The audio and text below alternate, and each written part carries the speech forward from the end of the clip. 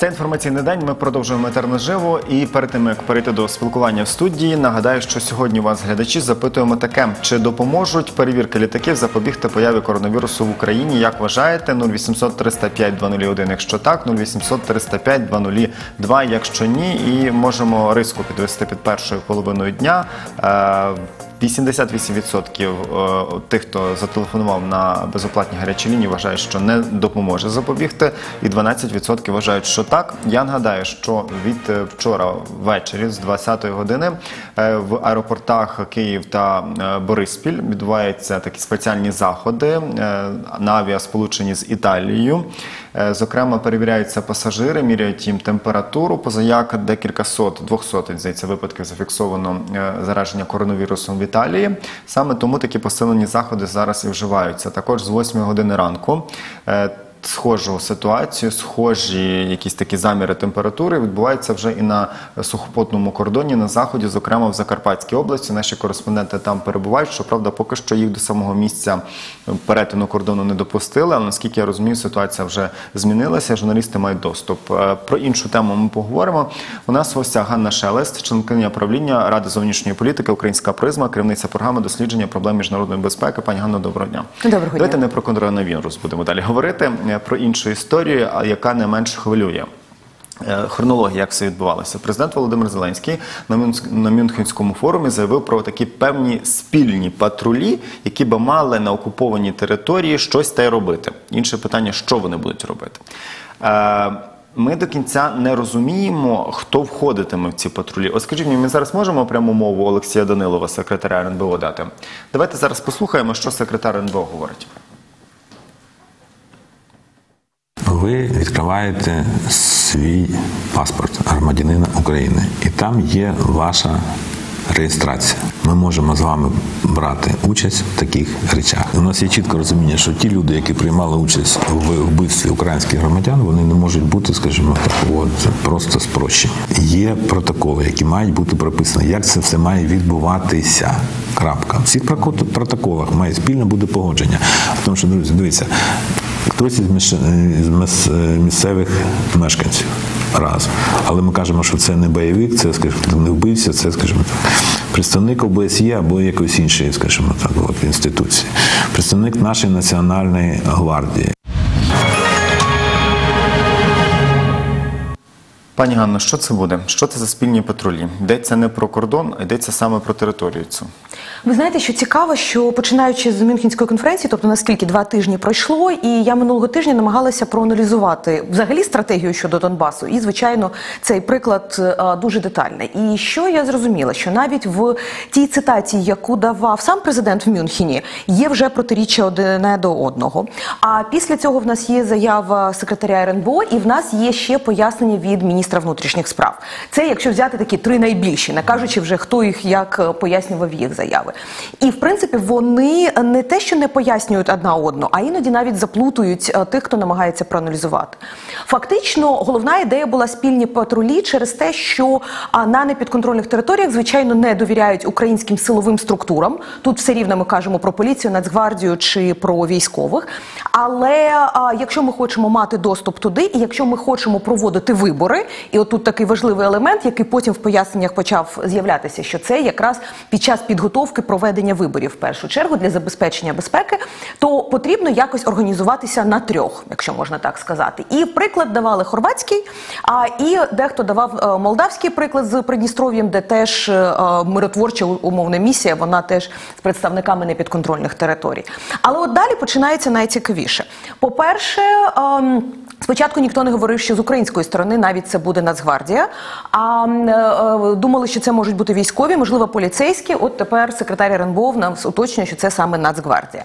А що стосується ОБСЄ, більш-менш зрозуміло, хоча теж з першої заяви було не зрозуміло. Це ті ж самі СММ ОБСЄ, які в нас вже є, просто вони отримують додатковий мандат, або це якась окрема місія, яка там може бути. Більше того, президент навіть в принципі сказав, що це міжнародні спостерігачі, можливо, ОБСЄ. Тобто не викреслюються варіанти, що це навіть не самому ОБСЄ, ті ж миротворці ООН, про яких ми вже декілька років кажемо. Ну і найцікавіше це звичайно, а хто ж з непідконтрольних територій в е, виступі президента в Мюнхені. А він заплутав всіх, тому що він е, спочатку просто сказав представники тих територій, а далі він почав говорити, що це можуть бути ц- е, громадяни цивільні, але в принципі там всі факти ну, формально цивільні. Да? А, е, але так, щоб це було в рамках е, кого ми визнаємо, не визнаємо. А і от з цього і почалося далі, тому що. ем, і в першу чергу, яким чином ми будемо виділяти, на якому рівні місцеві були чи не були залучені до а, якоїсь діяльності на непідконтрольних територіях? Тобто лише ті, хто були зі зброєю, не зможуть, але тоді підключається питання амністії, да, яке в нас стоїть вже дуже довго. Або ми говоримо про е, е, наприклад, ті, хто працював в органах державної влади там, да, хто не займався якоюсь там військовою або збройною діяльністю, а не знаю, ЖКХ очолював там на місцях. Залишились же такі люди, будемо відверти. Вони можуть брати участь, чи ми теж не визнаємо, тому що формально вони є е, представниками окупаційної влади на тій території. Да? А якщо це просто цивільні, а скільки нас взагалі там залишилося цивільних, які не підпадали би під першу і під другу територію, окрім можливо там жінок, дітей, якихось таких ось е, категорій? Колись були ідеї, наприклад, взагалі у окремих е, експертів, а давайте моніторити щонайменш контактну лінію представники е, афганських ветеранських організацій, які за віком вже е, і хто в принципі не підтримував те, що відбувається на Донбасі, але вони були готові забезпечити певну безпеку. Тобто декілька років тому лунали в деяких експертів такі ідеї. Ну окей, тобто такі люди вони підпадають, не підпадають. А скільки їх там залишилося? Чи є в нас взагалі така інформація? Давайте зараз послухаємо телефонний дзвіночок і продовжимо нашу бесіду. Доброго дня, звідки дзвоните, яке питання або висловитись хочете? Добрый день, это из Харькова. Я Людмила Николаевна. Скажите, пожалуйста, не, до- недостаточно ли, я не по теме немного, недостаточно ли вообще этой, этого объявления показывать по поводу того, что пятый канал бескоштовно остается доступным, да, доступным, так? Ну, каждый раз э, во время ин- интересной дискуссии вот это вот объява, и все уже, наверное, усвоили. Е, е, останнє не почув, якщо чесно. З приводу цього оголошення це просто таке намагання сказати, що ми залишаємося, тобто скажемо нашим технічним е, директорам про те, що це деяким глядачам заважає. Ми зрозуміли про що ви йдете. Ми просто попереджаємо, що ми залишаємось на супутнику, нічого в нас не змінюється. Якщо говорити про ці спірні патрулі, то я не зовсім розумію отаку от штуку.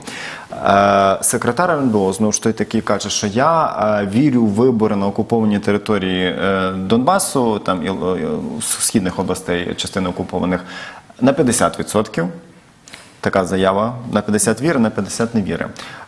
Ми, є заява про те, що будуть спільні патрулі. Як це вписується в те, що ми не контролюємо кордон? Ну тобто будуть ходити ці в трьох, в чотирьох, в десятьох по цій території. Контролю немає ніяким над кордоном. Чи це передбачається якось? Чи чути з вуз президента про це? А президент говорить про те, що ми повинні е, поновити кордон, але наскільки я розумію з різних заяв, що в принципі кордон це те питання, де ми більш-менш готові на певні компроміси. Да? А компроміси за останні півроку це стало таке головне слово, мабуть, коли ми говоримо про а, Донбас. А знову ж таки, це може бути, що не такий стан, як сьогодні, а наприклад, міжнародні певні організації, структури беруть ну там назвемо умовно миротворці, хоча це неправильний термін, але як хтось третій да, бере на себе зобов'язання, допомагає з а, е, моніторингом на певний період. А інше питання, що звичайно це вірю, не вірю з виборами. Ну давайте говорити про те, що є певні умови. Да? І на сьогодні кордон, можливо, це не найболючіше питання для того, щоб визначити ці умови. Безпека, як показала в нас ситуація з золотим декілька днів тому, класична, да, що ми поки що навіть така безпека не е, забезпечується. А після цього знову ж таки, а, а куди в нас діваються базові умови, якщо навіть не українського законодавства, то того ж самого ОБСЄ а, щодо того, е, рівний і вільний доступ всіх політичних партій. Ми можемо гарантувати, що сьогодні всі українські партії зможуть проводити агітацію на непідконтрольних територіях. А безпека списків виборців, да, і яким чином вони будуть е, гарантуватися? Чи будуть внутрішньо переміщені особи мати право голосу на місцевих місцевих виборах. В принципі, багато з них залишилися з реєстрацією там. Вони мають цю право, да вони не змінювали її. І в принципі, чого ми повинні півтора мільйони чи два мільйони за різними даними е, залишати без права голосу? Це теж велике питання. Е, такі вже вторинні, як доступ медіа, доступ міжнародних спостерігачів, навіть зараз не стають на порядку денному. Оці три базових а і хто може е, балотуватися? Це теж велике питання. Да? А, окей, зрозуміло, російські громадяни, які там присутні, не будуть це робити. Але навіть з наших ми знову повертаємося до чого? Про до закону про амністію, чи хоча б принципів, які би були б прописані певні. Да? А і ось це я думаю, що е, питання, на які варто відповідати навіть раніше, ніж просто говорити там можемо чи хочемо ми провести вибори в е, жовтні 2020-го на всій території. Слухайте, а ви говорили про те, що от окей, якщо це спільний патруль, війде, наприклад, якийсь клерк, там чиновник е, з окупаційної адміністрації, який там папірці переставляв. Але де гарантія, що він не, не переставляв папірці, наприклад, які там е, з, регламентували завезення якоїсь техніки або ще щось? Як це перевірити взагалі? А може він не просто перекладав ці папірці? Хто має перевірити це? Знаєте, це найскладніше запитання. Ми свого часу, коли почалася програма СБУ Повернись додому, да, для тих бойовиків, які хотіли би відмовитися, якби і перейти на українську територію. Я консультувалася з багатьма е, колегами в різних країнах світу. Причому наш мінтод був зациклений лише на досвіді Балкан. А я вирішила подивитися ширше завдяки е, контактів по всьому світу. І ми тоді дуже багато говорили з Кенією. А тому, що там е, для наших телеглядачів нагадаємо, був дуже серйозний внутрішній якраз скоріш конфлікт Боко Харам, в тому числі, плюс деякі е, інші. Ну тобто там був тероризм в класичному вигляді. Але в певний момент а, дехто захотів, ну тобто велика кількість захотіла навіть переходити все ж таки на урядову сторону, тому що розуміли, що це більше тероризм, ніж е, щось пов'язане з внутрішнім конфліктом. А вони створили спеціальну програму, де ті, хто заявляв, що хоче повертатися, він в певну резервацію на місяць, де проводилися всі брифінги, де був що робив, що знаєш, який ти, щоб дійсно перевірити, наскільки людина справді, чи це певний агент там, чи ще щось. І була розроблена спеціальна програма, яким чином це робитися. Але це щонайменш місяць вони перевіряли таким чином кожну людину і займалися з цією людиною, потім ну певним чином відслідковували.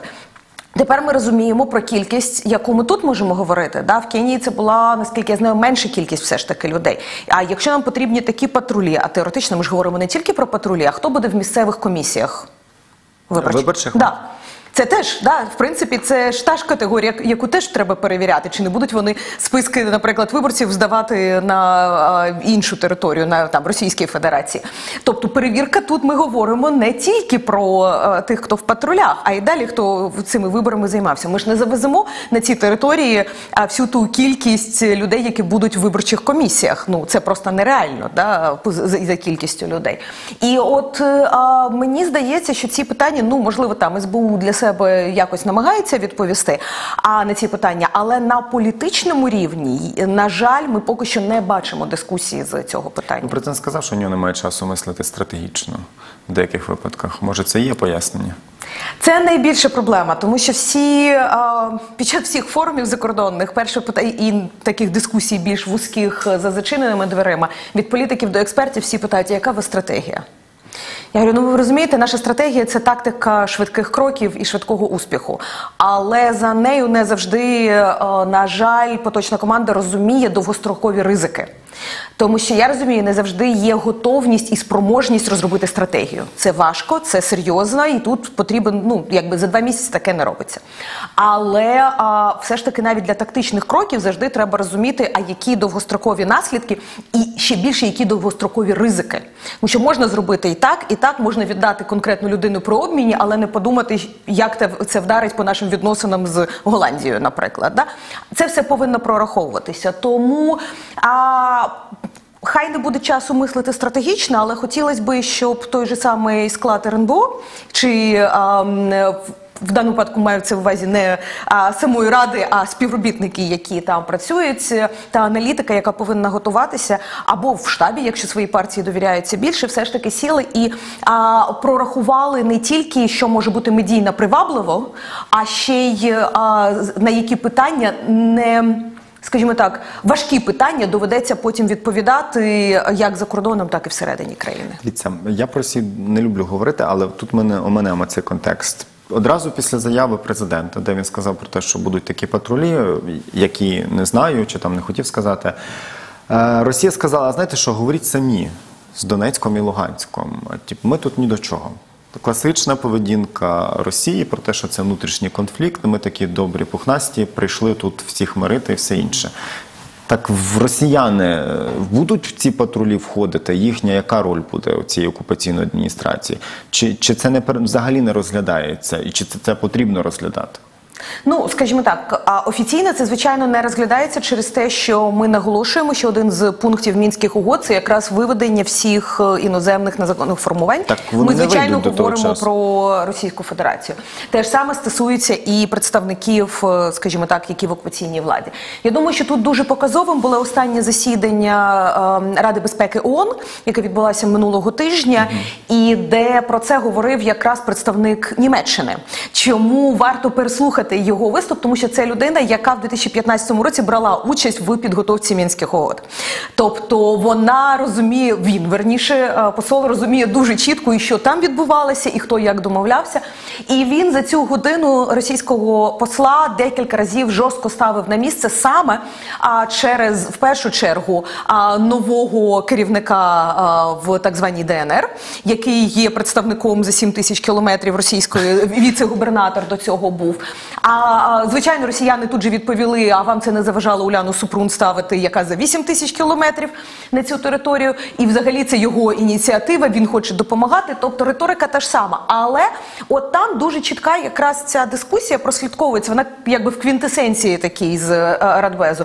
І щодо того, як ставляться навіть до російських громадян, які там знаходяться офіційна Москва, і а, яким чином доведеться, скажімо так, підкреслювати, що в нас проблема на сьогодні не тільки з російськими військовими, про це українська держава говорить постійно. А що на сьогодні це і велика проблема з а, російськими цивільними, які там на рівні радників або навіть співробітників вже знаходяться в керівництві.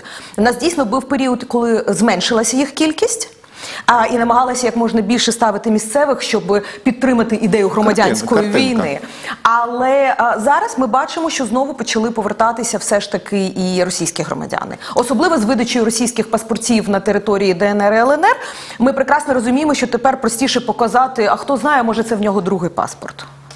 Дивіться, просто все це нагадує е, історію, коли ми самі себе дуримо. Добре, в мінську прописано те, що вони ці росіяни підуть з Донбасу, але ми прекрасно розуміємо, що цього не станеться просто так. І ми отак будемо закривати очі та казати: ні, ні, ні, ми про не говоримо про те, що росіяни мають бути в ці, цих патрулях. Не говоримо. Вони собі може колись та й десь колись і вийдуть. Але давайте поговоримо про вибори. Ну так може треба речі своїми іменами називати. Якщо ми створюємо патрулі, то там має бути представник. Е, Тоді Росії, який власне окупував цю територію. Я думаю, що росіяни на це не підуть, хоча в нас є досвід е, е, Придністров'я, де в принципі складається по третинам. Да? Росіяни, придністровці і е, е, е, молдовани, а де є декілька представників України в якості військових е, спостерігачів. І це так багато-багато років е, співпрацює. Да. А, Формат 5 плюс 2, але толку. Ну, 5 плюс 2 – це переговірне, а це саме миротворці, які там знаходяться, трьохсторонній а, а, формат. І що найцікавіше, що в принципі ті миротворці, 400 людей формально, які є в статусі миротворців, а це певні імунітети, права там і так далі. Фактично їх ротація багато років відбувалася за рахунок того військового контингенту російського, 1200 людей, які знаходяться на території Придністров'я і повинні були вивезти ще в 99-му році. Тобто мені здається, що все ж таки висновки з Придністров'я певні зроблені. А і тут е, набагато обережніше. Росіяни можуть з'явитися е, серед представників ОБСЄ. Що вони Тут робили. нам достатньо важко цьому, скажімо так, е, заперечити, а в- тому що є ну певні норми, принципи формування. І тут е, одного нашого голосу буде недостатньо. Інше питання, що ми можемо звичайно через активну роботу в рамках ОБСЄ мінімізувати їх кількість, але а, просто зробити їх третім або четвертим. А це звичайно на це навряд чи підуть навіть вони, тому що це буде тоді вже не якби с- по-перше, це не буде статус посередника, на якому вони наполягають, Ну, що вони третя да, сторона. А, а по-друге, таким чином вони не зможуть всунути представників ДНР ЛНР. Для того, щоб дати ще один майданчик, де саме ДНР, ЛНР і Київ присутні, да? тобто підкреслити оцей діалог між е, або співробітництва між непідконтрольними територіями і столицею. А тому для них це був би, ну скажімо так, навіть невиграшним варіант, якщо б вони наполягали на е, своїй присутності. Який сенс в виборах восени, якщо все-таки ця ідея буде проштовхуватися? Я розумію, що по всій території вільні відбуватимуться місцеві вибори, але чого така спішка? Поспішати до чого? Ну, можу лише догадуватися, будемо відверті. Да, тут е, це питання краще задавати тим, хто на цьому наполягає. А я можу так собі уявити лише один е, якби резон. А це підкреслити нормалізацію ситуації єдність України, що в нас на всій території відбуваються вибори. Що ми нормалізували ситуацію. По-перше, по-друге, що ми єдині, тобто що немає там окремо, тут окремо. А, і що є певний прогрес наперед, тобто з нашого боку виконання мінську. А інших причин знайти мені достатньо важко, тому що а, ризики проведення восени набагато вищі. Давайте говорити так. Якщо ми згадаємо виборчий кодекс. То е, максимум за три місяці до виборів ми повинні чітко розуміти, як що там буде відбуватися, за як чи будуть особливі умови, не особливі і так далі. Потім вже за 50 днів будуть е, там більш детальні, але за три місяці. Якщо це кінець жовтня, рахуємо на зворот. Ми повинні влітку абсолютно чітко знати, е, що і як. Чи достатньо в нас часу, ну щоб відповісти на всі ці питання? Я б не була така оптимістична. А показати кому? Що ми хочемо показати? Кому? Ну, нормалізація стосунків, там, як ви називаєте це. Це ми кому показуємо? всередині країни. Тому що давайте подивимося на ті меседжі, які а, йдуть. Да? Президент сказав в своїй голові, він вже закінчив війну. Да? Це в Мюнхені, знову ж таки цитати з Мюнхена. А, але й питання про те, що ем, він прийшов як президент миру. Так себе вважаючи. будь-якою ціною? А, а оце наступне питання. Да? А за цей час він зрозумів, що сісти, поговорити і подивитися в очі президенту недостатньо, е, російському президенту. Да? А що просто обмінятися і перестати стріляти якось не дуже виходить. Ми б, може і хотіли, да? але не дуже виходить. А, і е, що наступне? Мирного плану чи плану реінтеграції немає. Ми теж про нього чуємо поки що. А, обіцяють там ще один фонд, ще один е, одну стратегію. Поки не бачимо нарисів. Навіть відклали, яку на 19 лютого обіцяли нам презентувати. Тобто ми не знаємо, що туди е, входить на сьогодні. А і все більше заяв на міжнародних форумах чи на зустрічах вони співпадають з попереднім президентом. Тобто, то від чого намагався максимально він е, а, відокремитися під час передвиборчої програми, в принципі, зараз він повертається до тієї ж самої риторики і щодо кордону, і щодо безпеки, і щодо а, а, всього іншого. І тепер виникає питання: звичайно, що йому треба щось терміново продемонструвати, в чому він відмінний, або чого він може досягти, чого не змогли за попередні роки. Просто тепер цікаво давайте ще на аспект подивитися, що зараз на міжнародному рівні відбувається і до чого нас можуть схиляти. Давайте спочатку зазирнемо в Америку. Зокрема, тому що Америка в передчутті виборів, праймеріс відбувається. Дуже цікава ситуація поки що складається, але однозначно можна сказати одне: поки що на даний момент е, Трамп має найбільші шанси залишитися президентом. Що він сказав про Україну Росію? Давайте послухаємо для початку. Я б дуже хотів, щоб вони поладнали. Гадаю, якби вони дійшли згоди, то це було б прекрасно для всього світу. Якби Україна та Росія змогли порозумітися, то, на мій погляд, це було б дуже добре. Пані Ганно, це в уявленні пана Трампа, що господи, лишіть мене вже з тою Україною, миріться собі самі і забудьте про все, тому що ми там маємо такий шлейф довгий внутрішньоамериканській політиці. А, так, це саме так. А, він, в принципі, з самого початку, коли тільки прийшов до влади, перші його заяви були якраз такого формату. Це потім він трішки відійшов через різні причини. А, і а, на щастя, тут була набагато більш сильна а, позиція самої республіканської партії ніж президента, а також держдепа на підтримку України. І через це риторика от такого примиренческого якогось настрою вона а, знизилася.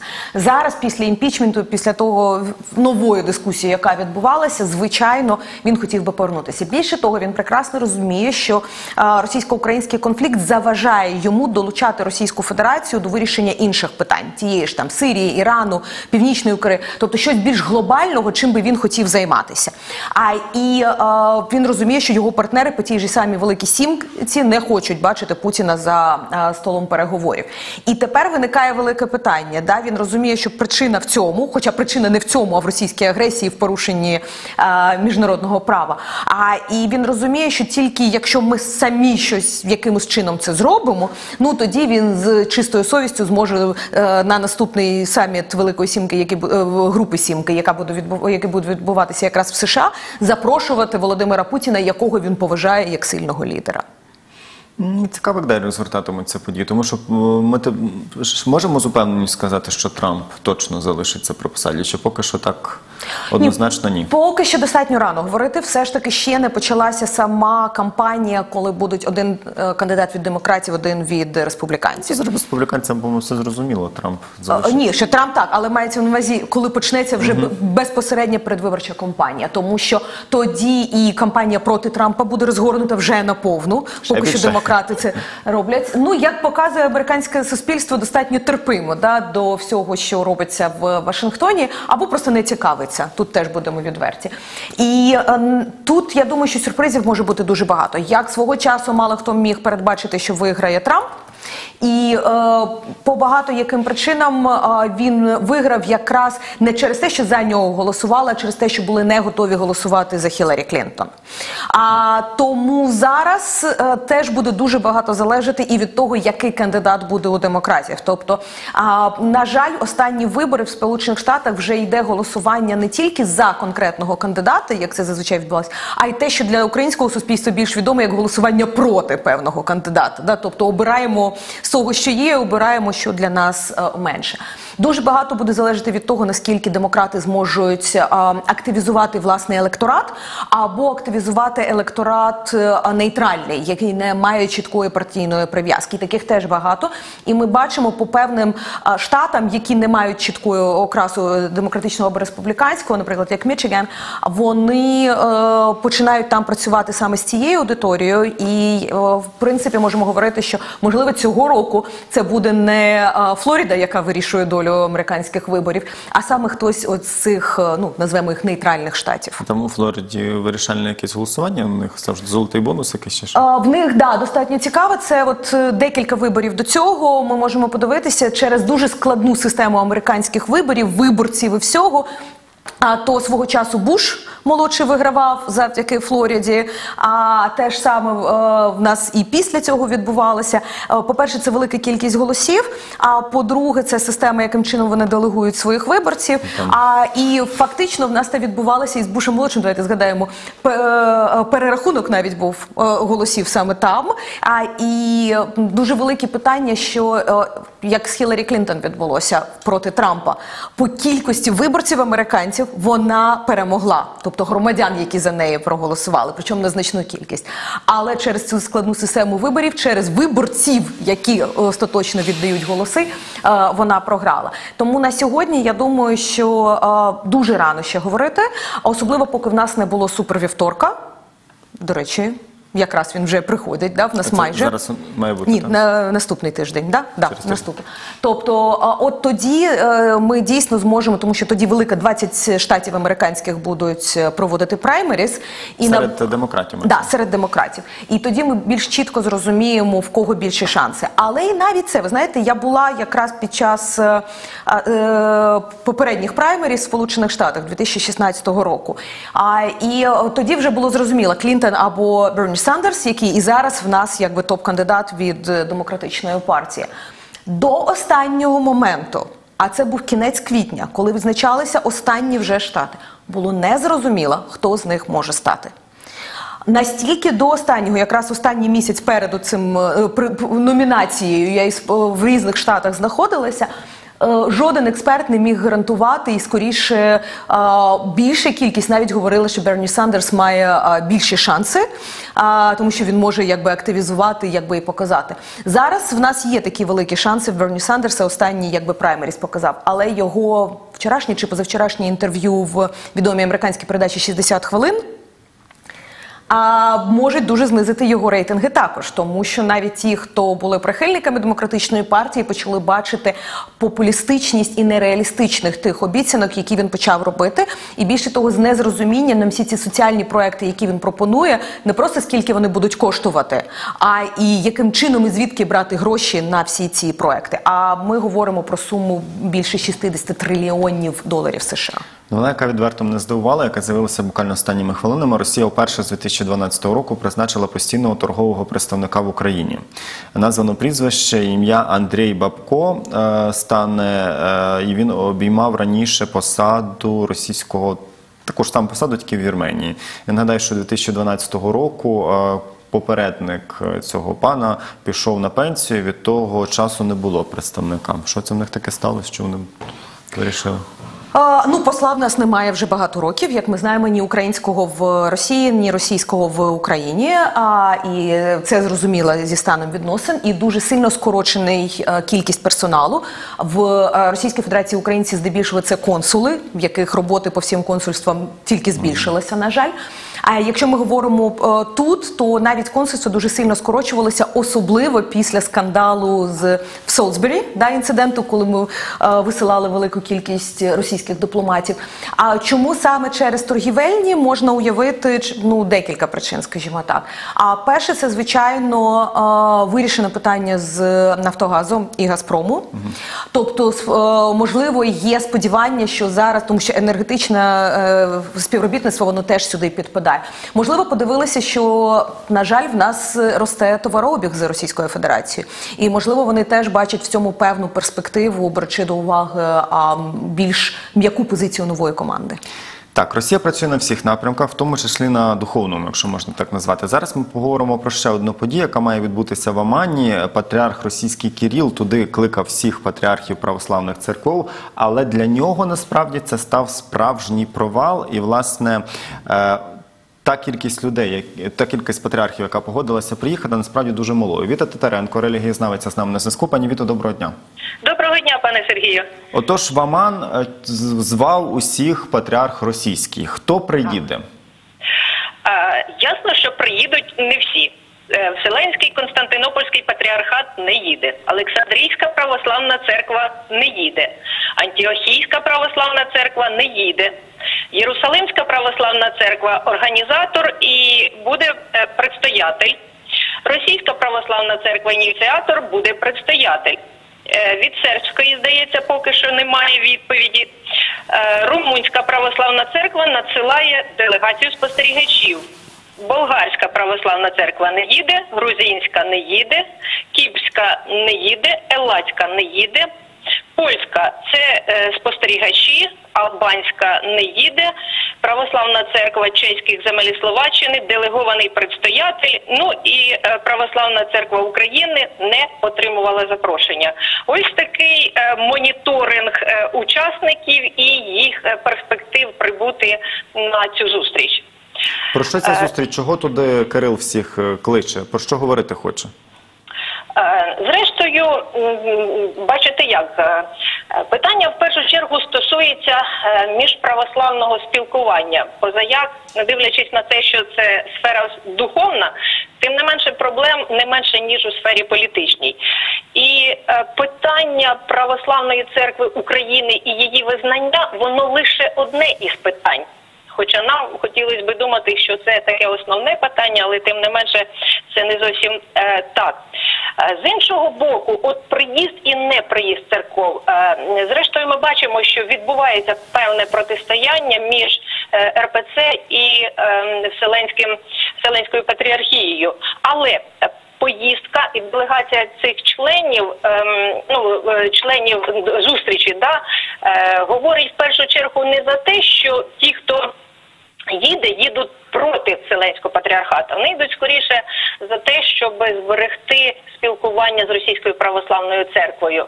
От менше, фактично для кожної із ем, е, церков, які приїдуть, українське питання це знаєте така своєрідна ем, карта, яку можна розіграти при е, відстоюванні вла при відстоюванні власних інтересів.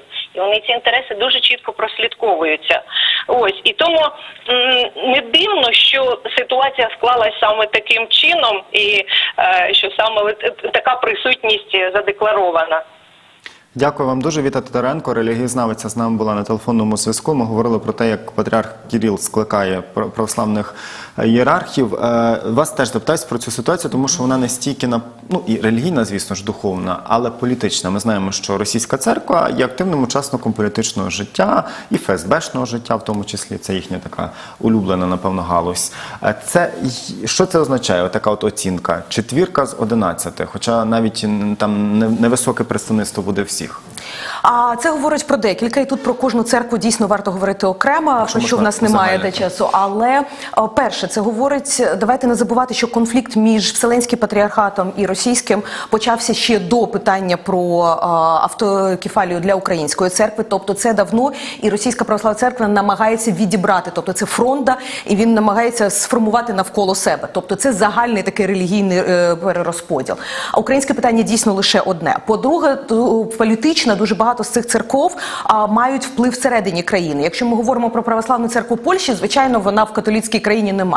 Але якщо ми говоримо про грузинську або сербську церкву, то це дуже рівний гравець Румунська. внутрішньої політики. І позиція Сербії нам дуже добре відома. І на жаль, всі ті проблеми пов'язані в тому числі і з українським питанням. А от Грузія, те, що не їде, дуже цікаво, тому що на жаль, останні роки грузинська православна церква була, по-перше, в тісному контакті з російською. По-друге, це виступала вона антиєвропейською силою проти інтеграції в ЄС, тому що ну весь той набір традиційних цінностей, про які російська православна церква По каже. суті, дублювала. Е, Мушу перервати вас, тому що час завершився. Наш Ганна Шелес. Дуже вам дякую за за розмову. запрошення. Вже о 14 годині будуть новини. Зокрема, дізнаєтесь про таке. Квитанція на 53 тисячі гривень за що це в нас за опалення? Квартира 127 квадратних метрів. Киянка отримала такий рахунок, і компанія постачальник каже, що це не помилка. Така сума і є. В цьому розбирались наші журналісти. Всі подробиці о 14.